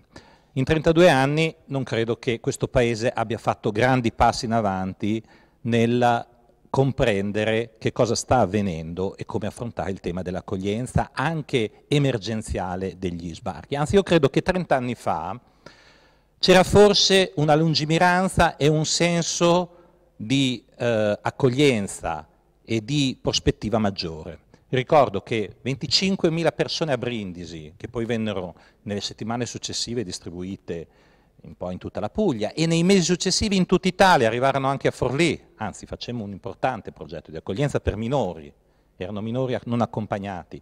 E, ehm, beh, allora, in qualche maniera, accogliere in una regione del sud Italia 30 anni fa così tante persone, ci furono tante solidarietà istituzionali e della gente, perché allora non c'era un sentimento di paura, non si temeva ancora l'immigrato, lo straniero, come purtroppo poi nel corso degli anni 90 invece è cominciato a emergere nelle narrazioni e nelle paure che si sono cominciate a instillare all'interno delle comunità e nella popolazione. Um, Don uh, Monsignor Pergo ha ricordato la legislazione che è subito stata anche rapidamente aggiornata nei primi anni 90. Ricordo la legge Martelli, era una legge che aveva il tema della gestione dei flussi, per quel poco che c'erano, i numeri ancora bassi che c'erano, ma anche quella dell'organizzazione del finanziamento delle prime strutture di accoglienza. Allora erano i centri di prima accoglienza, c'era un'immigrazione appena arrivata, non si immaginava la strutturalità. A Forlì vennero finanziati due centri che tuttora servono ancora per l'accoglienza di persone straniere con, que con quelle risorse lì. Ma negli anni successivi eh, ha prevalso la logica e la eh, paura per cui anche la normativa, con le leggi che ha citato sempre Monsignor Pergo, è, eh, è uscita dall'idea della gestione del flusso, della temporaneità, della transitorietà e della progressiva integrazione e ha prevalso la dimensione della sicurezza, dell'ordine pubblico, piuttosto che quella della prospettiva delle persone che qui arrivarono. Ed è vent'anni che non si rinnova la normativa sull'immigrazione. Ma perché? Perché la politica è schiava delle paure del tema dell'immigrazione. Qualcuno lo strumentalizza, ma qualcun altro ne ha assolutamente paura, per cui oggi ehm, non si riesce davvero a creare eh, un movimento, una prospettiva, un pensiero lungo sul tema e sui bisogni che non sono solo quelli dell'accoglienza. Quella forse può essere considerata un'occasione, perché il vero tema, lo ricordava proprio alla fine Monsignor Pergo, è che noi siamo una società che è estremamente frammentata, invecchiata, dove le giovani generazioni non stanno sostituendo le generazioni precedenti e allora eh, un grande progetto strutturale, strategico e di respiro internazionale, perché l'Italia da solo non può ovviamente governare, ma queste sono eh, cose naturali, ehm, dove in qualche maniera si rende legale, lecito, lo si lega certamente alla domanda di lavoro, ma non solo alla domanda di lavoro, anche alle prospettive di cambiamento sociale delle nostre comunità. Eh, allora, io credo che oggi serve davvero un grande spirito, un grande slancio. Serve nella politica, certamente, ma serve certamente in una società civile, nelle istituzioni e nella Chiesa stessa, a richiamare la necessità della lungimiranza, se no ci troveremo a piangere i morti, come rapidamente succede, l'hai ricordato all'inizio, nel 2013, il 3 ottobre del 2013 avvenne più grande, la più grave tragedia di mare, ma ogni due o tre anni ne sono successe prima e ne sono successe dopo, anche in Adriatico, anche con gli albanesi alla fine degli anni 90. Già quest'anno ne sono morti 238 dall'inizio dell'anno. Certo. Non possiamo pensare che si viva solo di emozioni, eh, una grande attenzione mediatica in quel momento che poi sfuma e non si pensi invece di tramutare in azioni strutturali e in politiche, e in politiche di lungo respiro però chiedendo davvero alla politica di avere coraggio in questo senso. Non tutto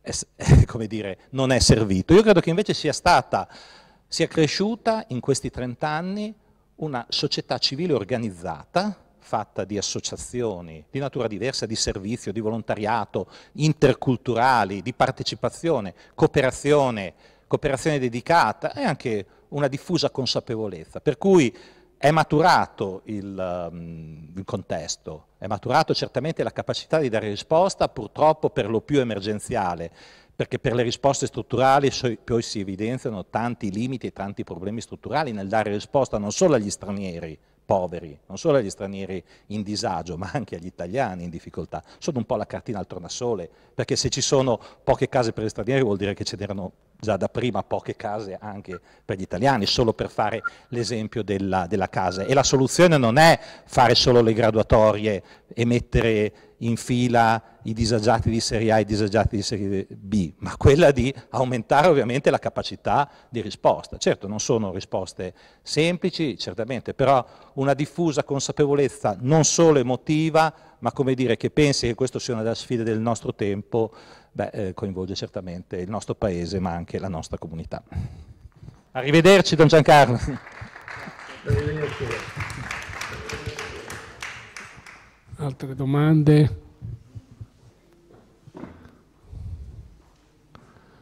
Facciamo una domanda anche a Simone Varisco, siccome si, si occupa tanto, si sta occupando molto di, del rapporto fra mobilità migratoria e eh, le religioni, chiediamo, possiamo chiedere come il dialogo fra anche il dialogo islamico-cristiano oppure lo stesso dialogo fra le comunità cristiane sapete, può contribuire insomma, ad affrontare il problema delle migrazioni e a dare qualche idea, insomma, qualche azione utile per risolvere questi problemi. Non è più in linea. Non è più in linea? No. Ok, niente. Al dottor, al, al Monsignor Perego chiederei... Non, non sarà colpa mia. No. Monsignor Perego chiederei, ma eh, se eh, c'è la percezione in molte persone appunto di questa disparità di trattamento riguardo l'accoglienza fra gli ucraini fuggiti da una guerra che sono arrivati in Italia l'anno scorso e che hanno avuto riconosciuto in tempi, eh, in tempi brevi una protezione temporanea e invece non abbiamo mai fatto nulla fino ad ora, e continuiamo a non fare nulla per le altre persone che fuggono ugualmente da guerre, altri focolai di guerra. Ecco, questo doppio binario qualcuno a volte si chiede come mai la politica lo accetta. Grazie. Massimo Io, Tesei. Sì, vorrei parlare di, di due cose. Una è un fatterello che vi voglio raccontare perché penso attraverso questo fatterello di poter convincere qualcuno di come sia abbastanza facile essere felici.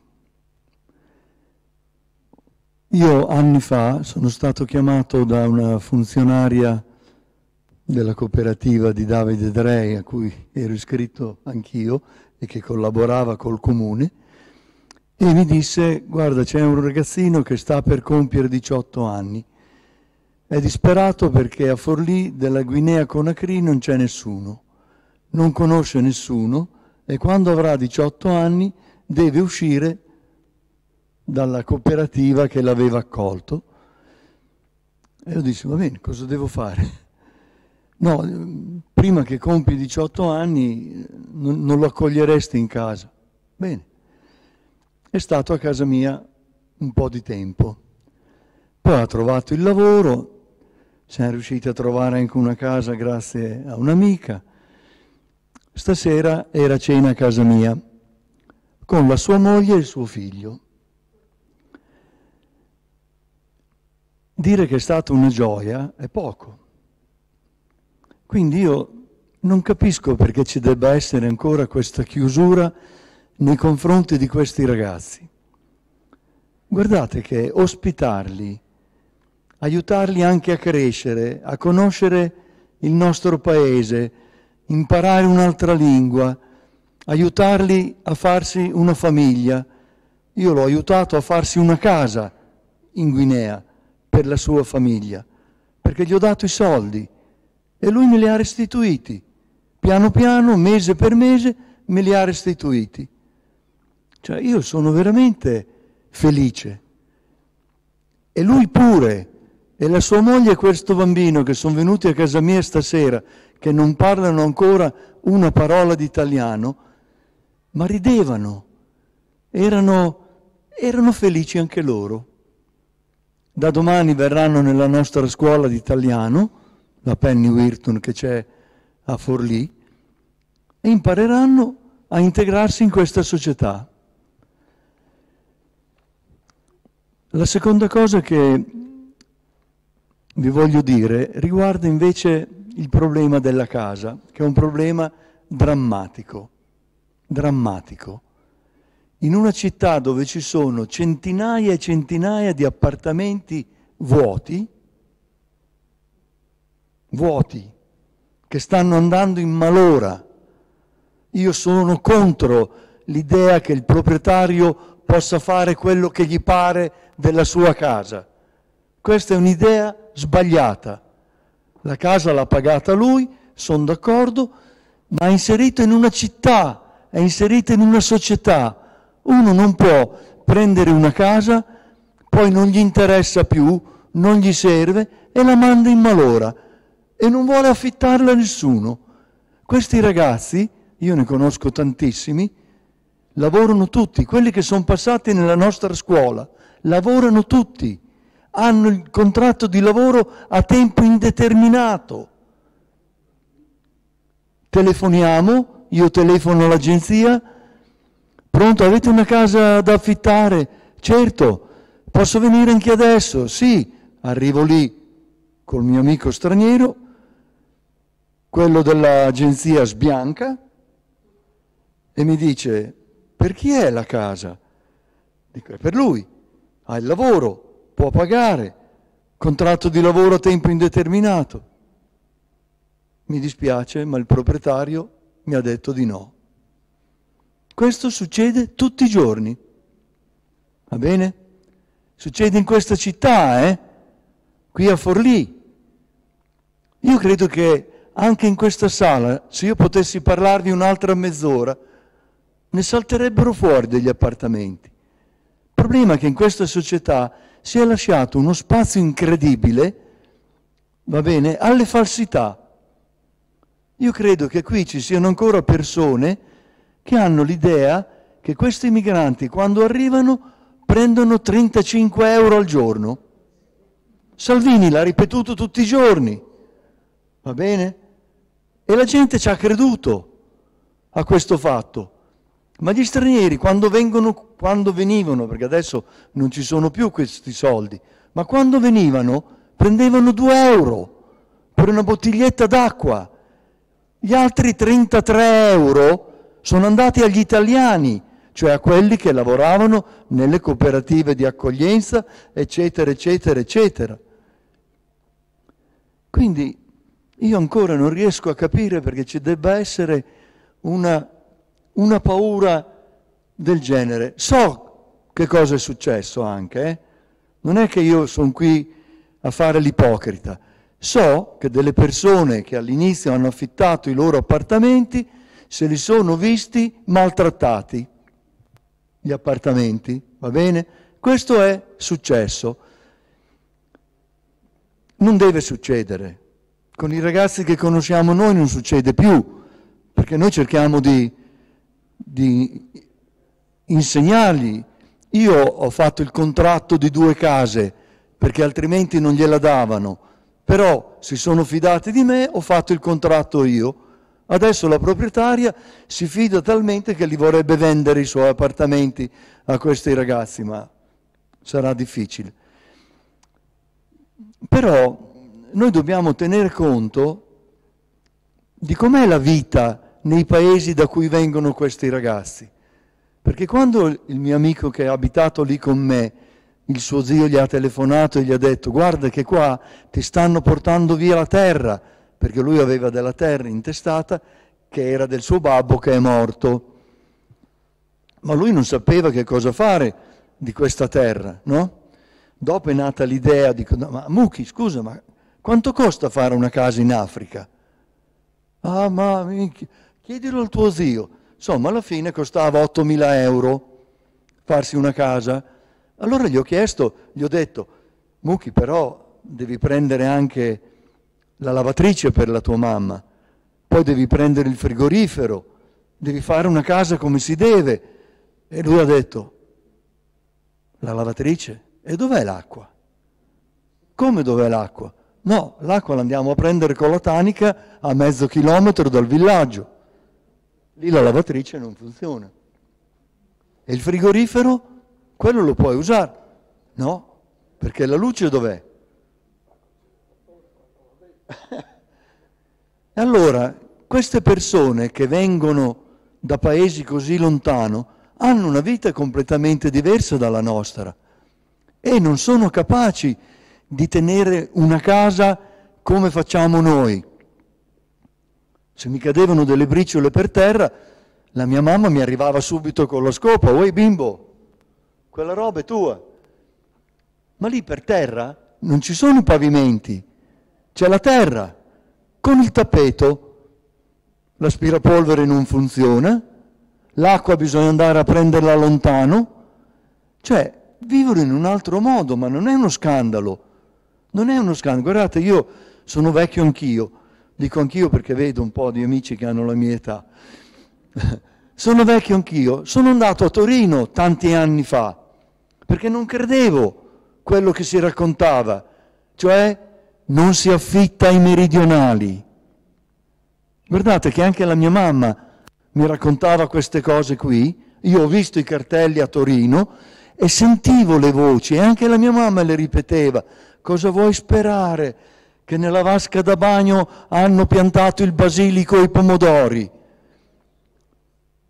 Adesso non succede più, però allora era così, era così. C'è la dif- ho finito. C'era la difficoltà, la difficoltà di accettare la diversità, di non capire che era, era un altro mondo il meridione negli anni 50 ed era così difficile, ma poi le cose sono cambiate, sono cambiate.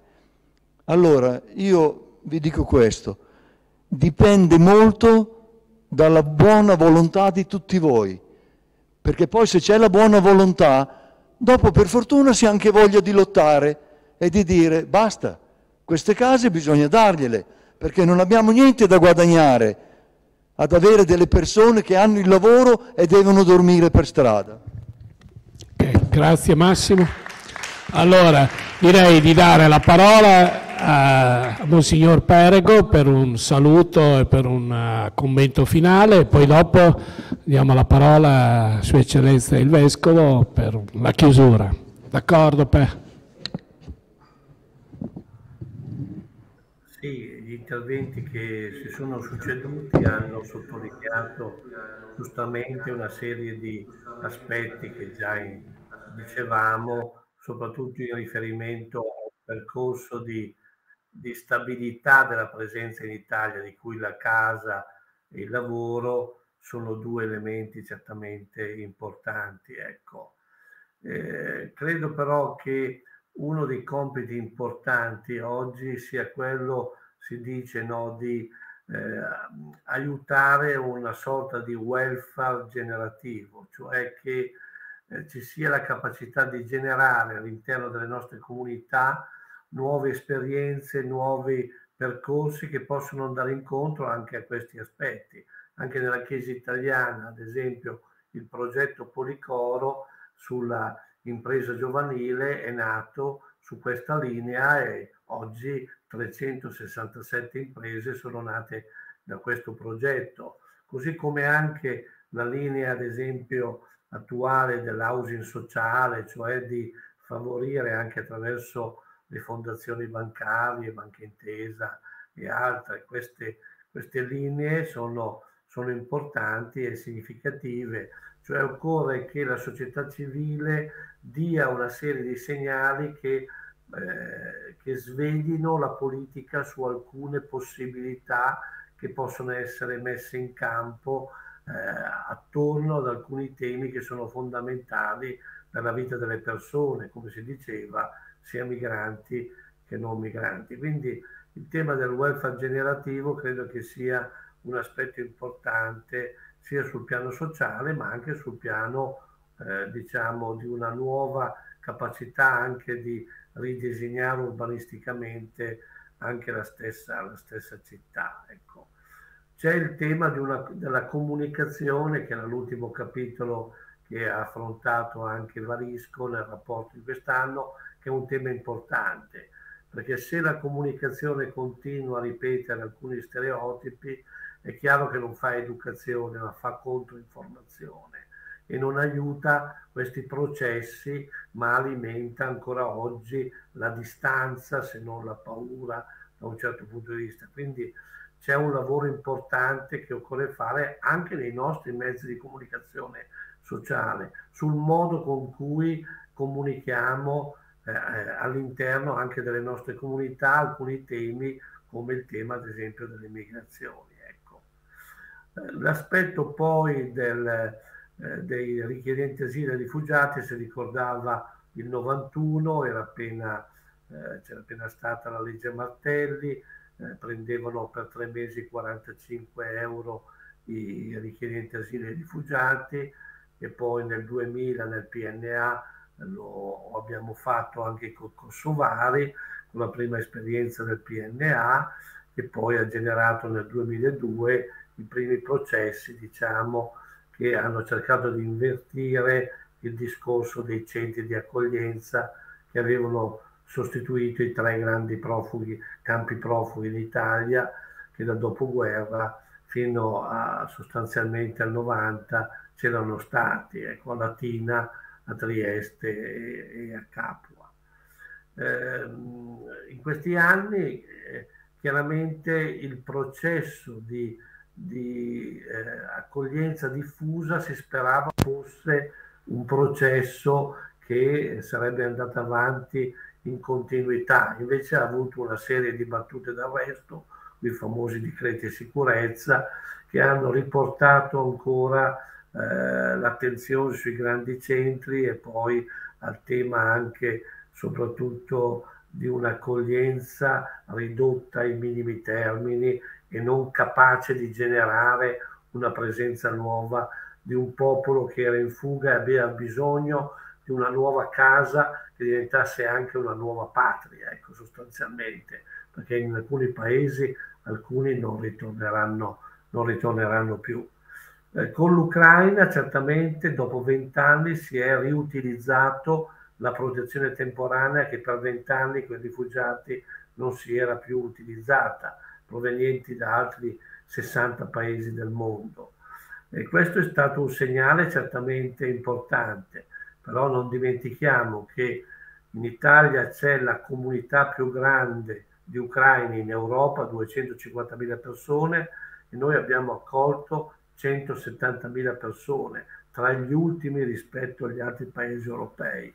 In Germania ne sono andati un milione, ecco in Francia ne sono andati 600.000 e in altri paesi, in Polonia ne hanno accolti che erano vicini più di un milione e duecento, ecco. Ma soprattutto, eh, ancora una volta, eh, le, i centri di accoglienza, cioè le istituzioni, hanno, sono stati capaci di accogliere 20.000 persone, a cui si sono aggiunte 30.000 persone della protezione civile, grazie però all'offerta di posti di Caritas, di Conf cooperative, delle, delle ACRI, delle grandi associazioni e realtà. Ecco. 100.000 persone, più di 100.000 persone sono state accolte informalmente nelle famiglie e nelle parrocchie, quindi non siamo stati in grado di dare una risposta.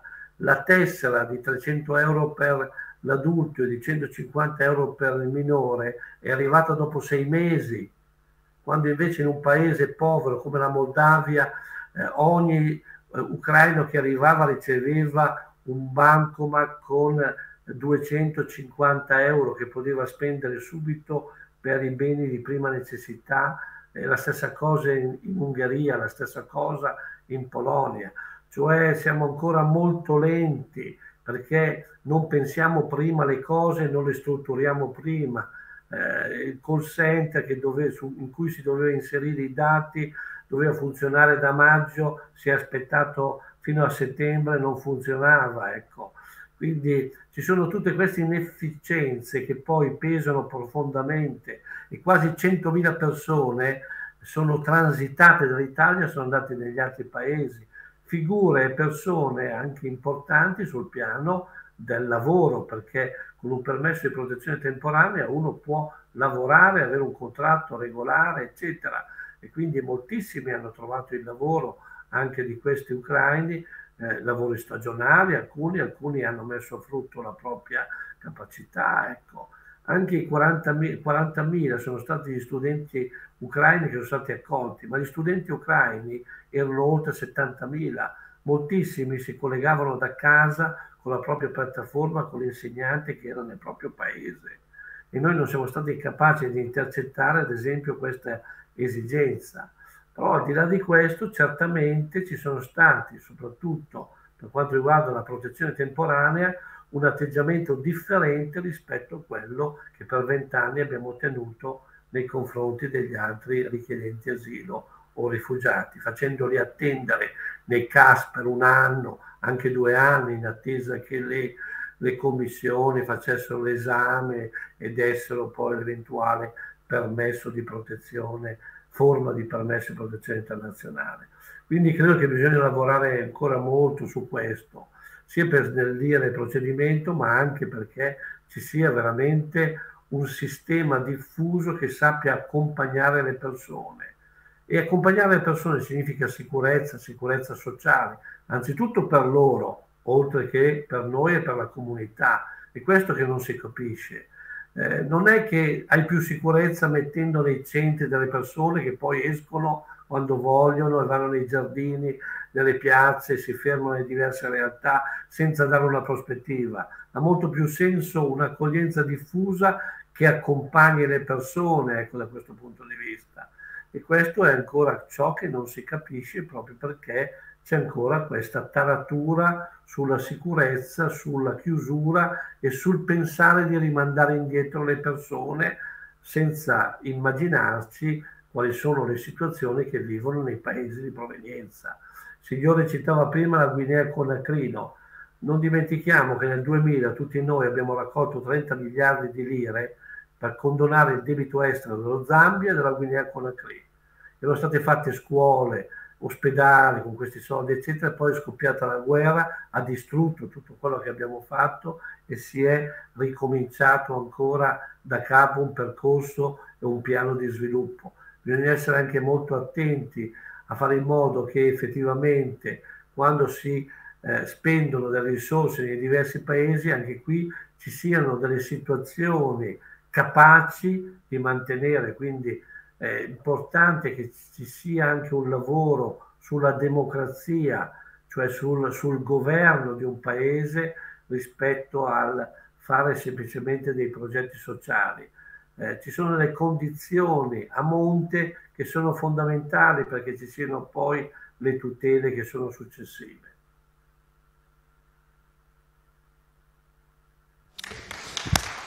Bene, Monsignor Perego, noi la ringraziamo per la sua disponibilità e per la sua conversazione sempre interessante e stimolante. Adesso, prima di dare la parola a Sua Eccellenza, eh, ricordo il prossimo incontro, martedì 14, sul tema lavoro e disabilità.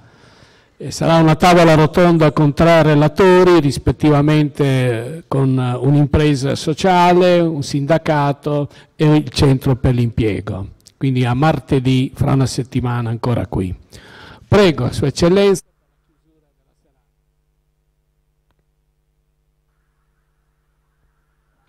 Beh, intanto grazie Don Giancarlo dell'intervento anche di questa sera e di tutto il servizio che hai fatto in questi tanti anni, prima nella Caritas, adesso migrante, adesso come vescovo. Sì, credo che mh, mm, abbiamo fatto tanto come Chiesa in questi anni.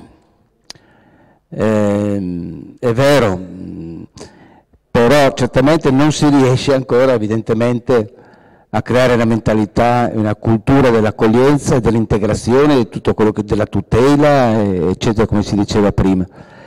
Perché mh, insomma, siamo figli del nostro tempo anche noi, quindi anche dentro anche nelle comunità eh, cristiane.